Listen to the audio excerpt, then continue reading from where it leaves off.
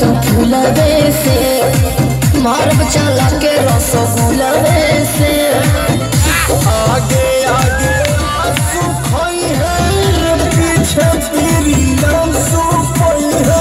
है पवन के मान दिह तू रात